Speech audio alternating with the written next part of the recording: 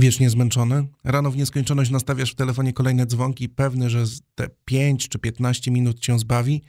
W pracy pijesz kawę za kawą, a i tak często zdarzają ci się drzemki przed monitorem? Po powrocie do domu walisz się na kanapę i pochrapujesz przed telewizorem, bo nie masz już siły na nic więcej. I tak dzień w dzień, miesiąc po miesiącu. Jeśli twój ciągły stan zmęczenia nie jest związany z poważnymi kłopotami ze zdrowiem, jakość twojego życia mogą znacząco poprawić cztery proste zasady. Mówiąc krótko, czas zadbać o sen.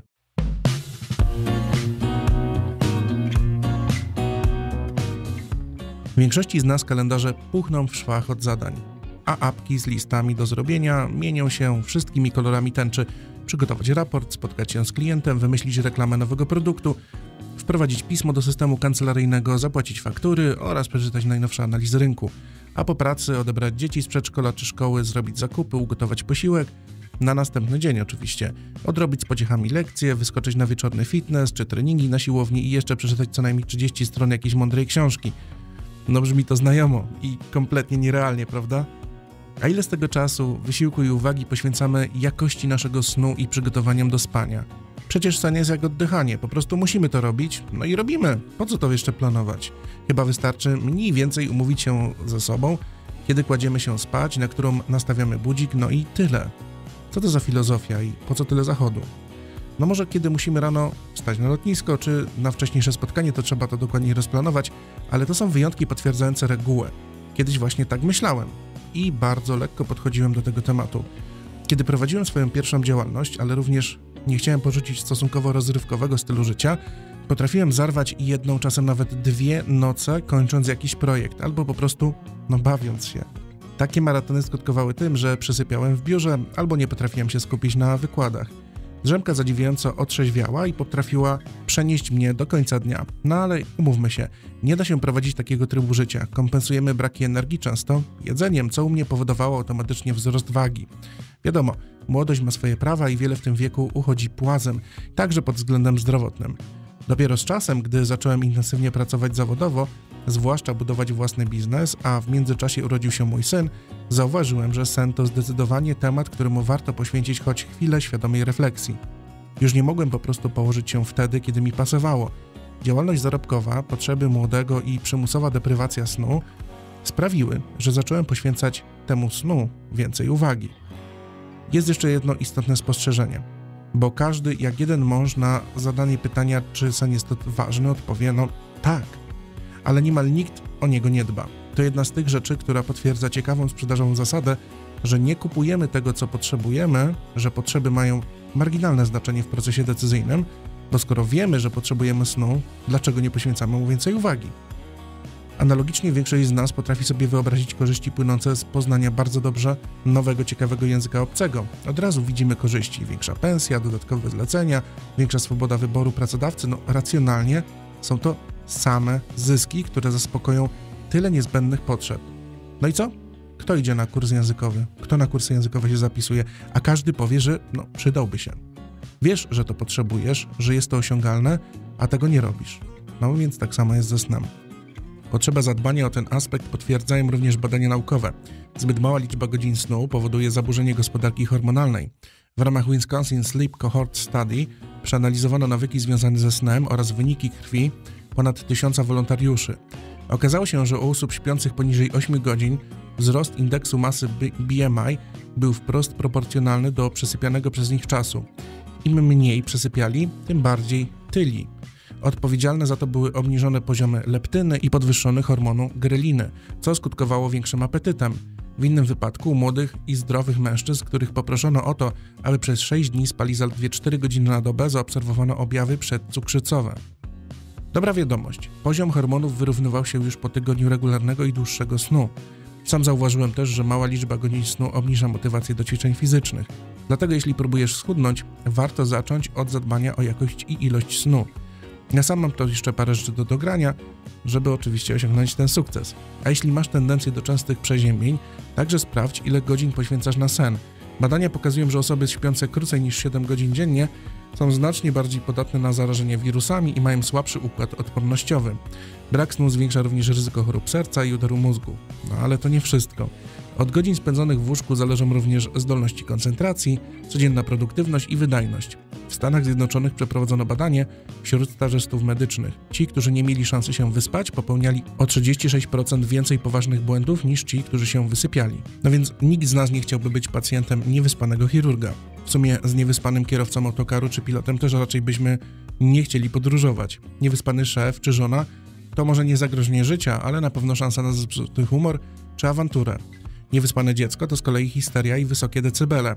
Kto z nas lubi być niewyspany? Cierpieć na ból głowy, mieć pustkę w głowie i światłostręt. Badacze z Uniwersytetu Oxford we współpracy z Królewskim Stowarzyszeniem na Rzecz Zdrowia Publicznego dowiedli, że po 17 godzinach bez snu nasza czujność jest równa stanowi imprezowicza, któremu alkomat wskazuje pół promila. Po dobie bez snu ta wartość wzrasta do stężenia od 0,8 do 1 promila.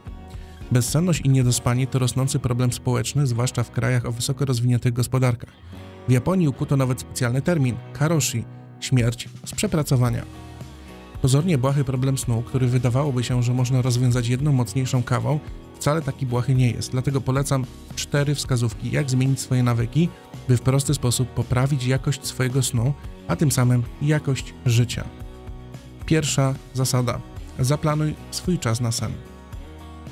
Zajrzyj teraz do swojego harmonogramu zadań i poszukaj w nim pozycji sen albo chociaż wypoczynek.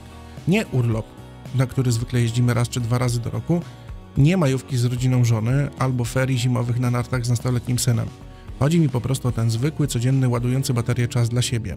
Jeśli już teraz uwzględniasz w swoim planie dnia regenerację, proszę napisz o tym doświadczeniu w komentarzu. Będzie to z pewnością inspirujące dla pozostałych słuchających i co strzelam, pewnie zadziwiająco rzadkie.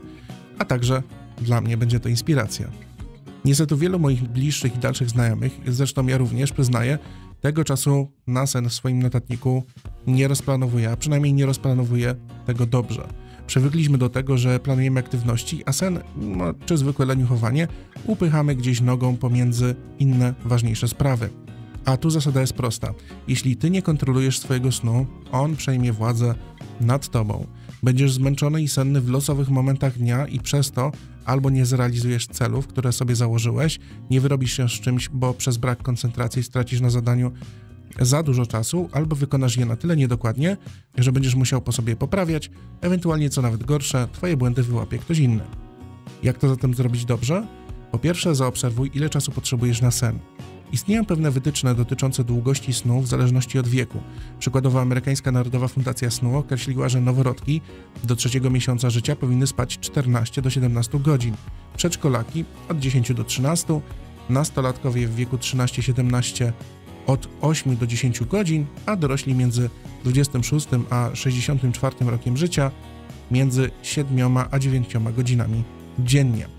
Ciekaw jestem, ilu z Was naprawdę tyle sypia. W każdym razie te zalecenia to wyniki uśrednione, dlatego warto zweryfikować na sobie, żeby to zrobić. Wybierz sobie godzinę, w której musisz codziennie wstawać, żeby wyrobić się ze swoimi obowiązkami. Powiedzmy, że wybierzesz 6.30. Odlicz teraz 5,5 godziny. Wychodzi pierwsza w nocy. I to jest Twój pierwszy cel. Pierwszego dnia analizy połóż się spać w takim rytmie. Tylko pamiętaj, nie oszukuj w ciągu dnia nie rób sobie drzemek. A potem każdego następnego dnia dodawaj sobie kolejne 15 minut snu, aż do momentu, gdy w ciągu dnia przestaniesz doświadczać senności. To jest właśnie ta ilość snu i ten rytm spania, który powinieneś zapewniać sobie codziennie, żeby poprawiła się Twoja jakość życia. Dla większości z nas docelowo będzie to spanie między 7 a 8 godzinami snu. Druga wskazówka ucieszy wszystkie śpiochy. Zrezygnuj z nastawiania budzika. Arbitralnie nastawiony budzik wyrywa cię z twojego naturalnego rytmu snu. Każdy z nas, śpiochów, darzy budziki głęboką nienawiścią. I choć to dosyć anegdotyczne przedstawienie sprawy, tkwi w tym ziarno prawdy. Ewolucyjnie człowiek jest przystosowany do spania zgodnie z rytmem dnia i nocy, który był wyznaczony przez wschody i zachody słońca. Elektryczność, długie ślączenie po nocach rozregulowują ten naturalny porządek. Na nasz sen składa się pięć faz wypoczynku. Cztery wolnofalowe NREM oraz faza szybkiego ruchu gałek ocznych, czyli REM. Pierwsza z nich trwa około 10 do 15 minut i jest fazą zasypiania. Wybudzeni w tym momencie od razu wstaniemy gotowi do działania. Kolejne trzy fazy to czas, kiedy Po kolei ustaje ruch oczu, zwalnia serce i spada temperatura ciała. Sen staje się coraz głębszy. Najbardziej bolesne dla nas jest wybudzenie w czwartej fazie, czyli po około 60 minutach snu. Jesteśmy wtedy zdezorientowani i nieprzytomni. Po tym następuje faza REM, kiedy mózg generuje marzenia senne i staje się aktywny prawie tak, jak na jawie. Pełny cykl snu wynosi około 90 minut. Jeśli więc poranki są dla ciebie koszmarem, wstajesz niczym zombie z kiepskiego filmu, to najprawdopodobniej twój alarm podnosi cię z głębokiego snu. Jeśli dobrze rozplanujesz swój sen, problem ten powinien zniknąć i budzik zawsze będzie dzwonił o właściwej porze. Pomocniczo warto pamiętać, 3 godziny to dwa pełne cykle snu, 6 godzin to 4 cykle snu, czyli 7,5 godziny brzmi jak optimum. Czasem zdarza się, że musisz posiedzieć w nocy i nie da się tego ominąć.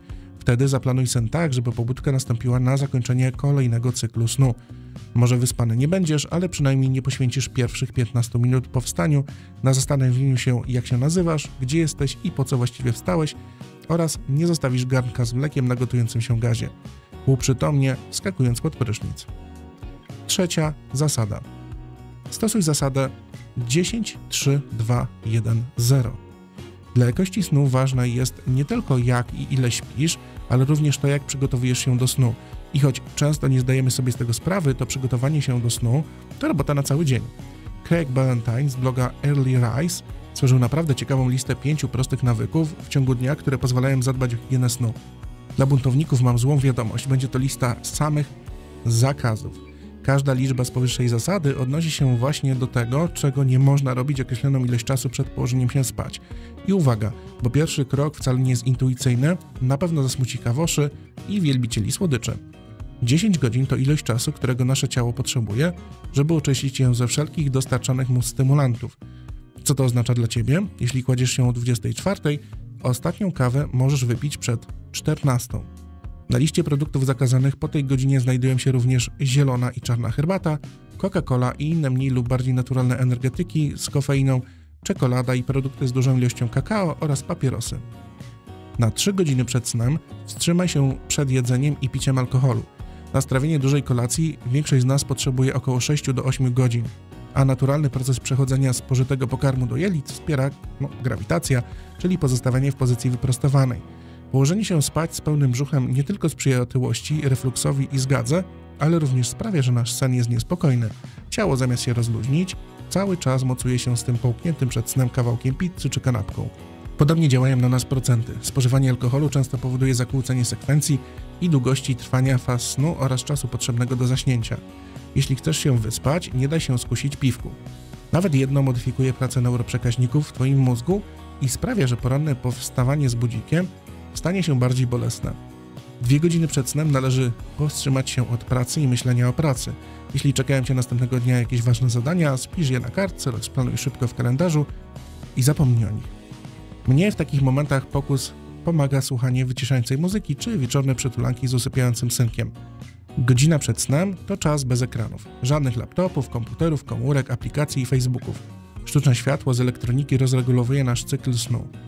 Shada Brahman, badacz jakości snu w szpitalu dla kobiet w Bostonie, dowodzi, że nadmierna ekspozycja na błękitne światło doprowadza nasz organizm w stan zaawansowanej czujności i dopiero po 2-3 godzinach pozwala zapaść w sen.